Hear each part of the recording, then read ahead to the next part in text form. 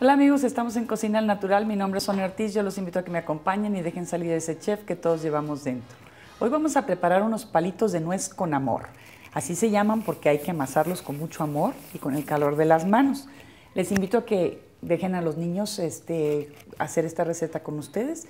Es un excelente regalo para los maestros en Navidad, galletitas hechas por los niños y son deliciosas. Lo único que necesitamos son una y media taza de harina, media taza de manteca, vegetal, tres cuartos de taza de nuez, pero medida a partir de que la vamos a picar muy finamente, casi como polvo, tienen que ser tres cuartos de taza, tres cucharadas de azúcar pulverizada, una cucharada de agua y un cuarto de cucharadita de sal. Lo primero que vamos a hacer es picar la nuez así, que quede como polvito. Y la vamos a colocar en el tazón.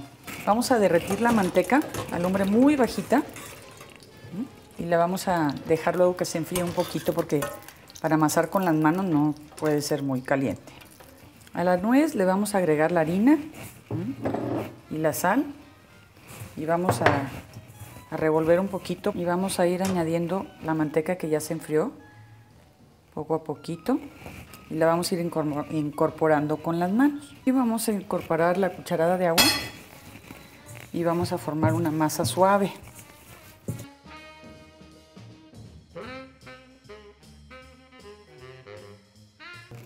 Así quedan los palitos ya amasados y la maravilla es que se hornean nada más 10 minutos a 350 grados Fahrenheit, que son 175 centígrados. Nada más que salgan así calientitos, los revolcamos en el azúcar pulverizada y listo. Pues así quedan los palitos de nuez con amor. Les voy a confesar que esta receta no la hacía desde la adolescencia y eh, tardaron 25 minutos en lugar de 10 en el horno y la razón es porque los hice demasiado gordos y demasiado grandes y son frágiles. Hay que hacerlos más pequeños y un poco más delgados y verán que está mejor y sí se tardan los 10 minutos. Es importante dejarlos enfriar en la charola perfectamente bien y quitarlos con una palita bien afiladita para que no se vayan a romper. Si los tratan de arrancar así y están medio pegaditos se les van a romper. Pero estos así, miren, ya fríos ya se hacen duritos.